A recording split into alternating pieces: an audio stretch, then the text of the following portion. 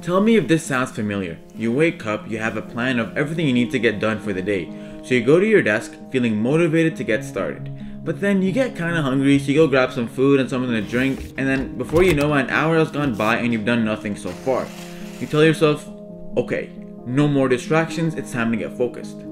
A few minutes later, you get a text from your friend and you tell yourself, a quick text back wouldn't hurt, that text turns into an infinite scroll through TikTok and Instagram, and maybe even binging a show on Netflix. Now, a few hours have gone by, you're feeling lazy, unproductive, and have lost all motivation. You tell yourself, you know what, I'll try again tomorrow. I found myself in this situation a lot of times where I procrastinate like this and end up doing my work last minute. But there was a shift in my earlier years of my engineering studies where I was able to study for over 12 hours a day and not get distracted and I'll share how I was able to do that in this video. Let's go back to my first year of engineering. I walk in not knowing anyone at all with the impression that engineering is extremely difficult. All upper year students that I talk to about engineering will tell me that it's extremely hard and I need to put in really long hours. To top it all off, the first few people I met in my class on my first day of lectures failed their first year of engineering and were doing it for the second time. So I had to do something to make sure that I don't end up like that. The fear of failure was honestly the motivating factor to just help me put my head down and work. But because I was so scared of failing, I'd feel bad every time I do something that wasn't studying or going to class. Now, obviously, this isn't a healthy way of doing school, and since then, I was able to develop a few strategies that help me study more effectively. I do want to mention though that I don't study 12 hours a day every single day of the semester. I only study like 12 hours a day for about two weeks before my exams. So for example, if my exams are in the third week of December, I would spend the first three weeks of that month studying 12 hours a day. And I would usually study from 12 p.m. to 5 p.m., then take about an hour break, and then continue studying from 6 p.m. to 1 a.m. The reason I do this and the reason it's so effective for me is because the hardest part of studying or getting any work done is just starting. Once I started and get in the zone, I'm able to do a ton of work. And at first, when you hear like 12 hours of studying, you might feel like it's scary or daunting, but once you actually start and you get in the zone, you get into that state of flow when you're studying, that 12 hours actually goes by pretty fast. Now let's get into how you can actually enter the zone or the first tip I have for this video. You start off by planning everything you need to get done. What notes you're going to read, what textbook chapters you need to review, what problem set questions you need to do, etc. I usually plan all the tasks I need to do for the week on like a Sunday night. The reason I do this is because when it's time to actually start, I've removed that obstacle of deciding what to do. You know, that way when it's 12 p.m., I'm able to start right away and not waste time trying to remember what I did yesterday, what I should be doing today, or what I need to do the next day. I have everything I need to do for the entire week planned on like a Sunday night. For example, if I have a mechanical design exam coming up and I plan on studying for it tomorrow and the day after, I'll spend some time at the end of today planning exactly what I'll be doing. I'd grab a sticky note and use it to mark down the chapter I'll be reviewing.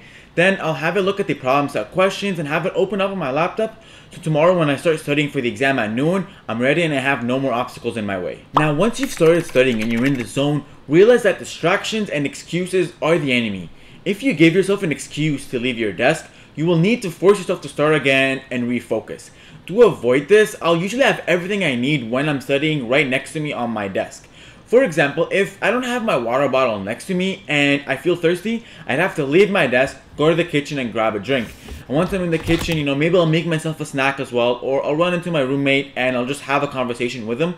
And what ends up happening is that two minute water break will end up turning into two hours of procrastination. To prevent this, you should have everything that you need when you're studying right next to you, so you never have to leave your desk.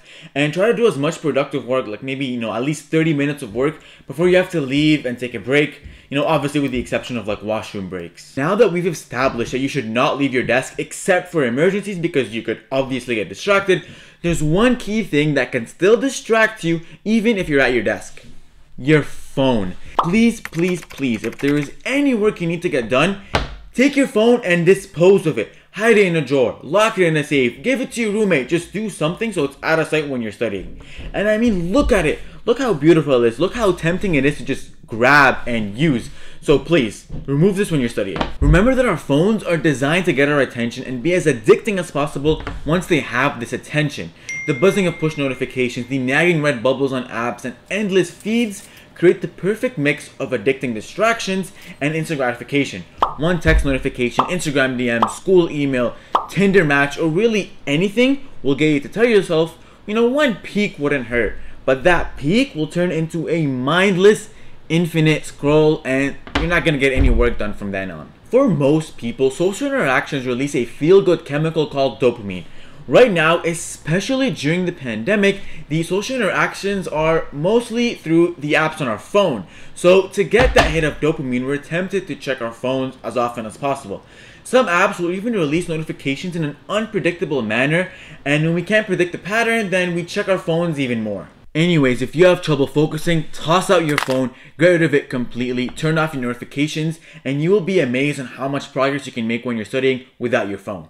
Also, if you happen to have an Apple Watch, get rid of that too because when you're studying, notifications will still pop up on that and that will honestly distract you as well. The next tip I have for you is to reward yourself. Have something to look forward to after you're done studying.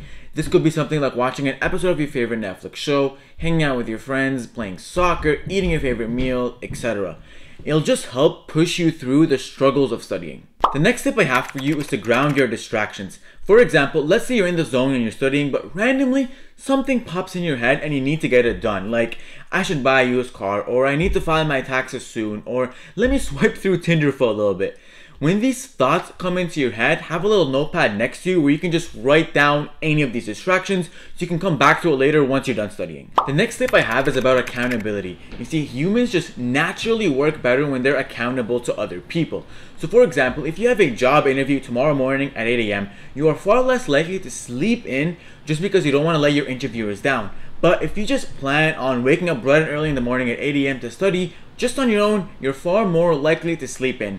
For some reason, we don't have a problem letting ourselves down, but we don't want to let other people down. So one thing I would do is I would study with a small group of people to sort of go around this. Studying with other people is really effective because it gives you accountability. If, for example, we plan on starting to study at 10 a.m. tomorrow morning, I feel like I'd be letting them down if I don't show up.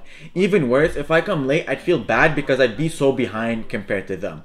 So basically, just studying with other people keeps you accountable, which means that you're less likely to get distracted or not study at all. Just be careful when you're studying with other people because although it is a form of accountability, it can also be very distracting if you don't do it right. So try to study with the same people every time Everyone should be working on the same thing. Everybody should have their phones away, and everyone should be coming in knowing the exact same things.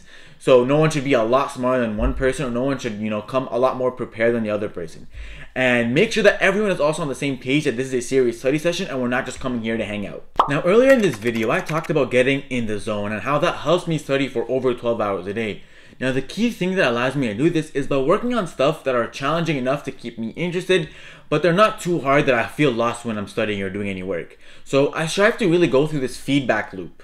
In this loop, I start off by doing a challenging task that I know I'm pretty good at. My skill level will then go up after the task is completed, assuming the task was challenging enough. Now, when my skill level goes up, I'm able to do even more challenging tasks, and as a result, my overall skill just keeps on getting better and getting higher. It's important to find the right level of challenge if you want to get in the zone. For example, if I'm tasked with doing basic middle school math questions, there's no way I'd be able to do that for 12 hours. It's just too easy and I'd get bored. On the other hand, if you ask me to label every single muscle and bone in the human anatomy without the use of the internet, I would not be able to do it. I would not be able to get in the zone because I know nothing about it. So there's no way I'd be able to do human anatomy for 12 hours straight. Another thing I do to really help me study for longer periods of time and get more work done is using apps or Chrome extensions that turn my text into audio. Now the reason this really helps me is because after, you know, I've been staring at a screen for an entire day, reading textbooks, reading articles, my eyes can begin to hurt or strain me a little bit. So if I can hear my textbooks or research papers instead of reading it, it can allow me to, you know, spend more time studying because I'm not straining my eyes nearly as much.